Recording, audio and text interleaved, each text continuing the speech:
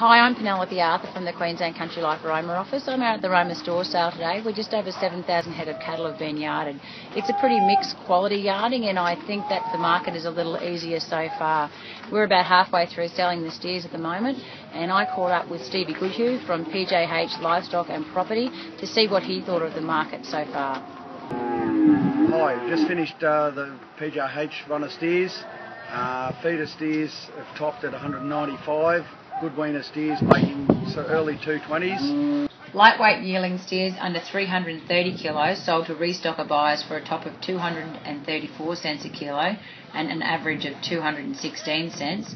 Medium weight yearling steers in the 330 to 400 kg range were in very strong demand, selling to 229 cents a kilo and averaging 214 cents. Heavyweight yearling steers over 400 kilos reached 196 cents and averaged 187 cents, while grown steers sold to 170 cents a kilo.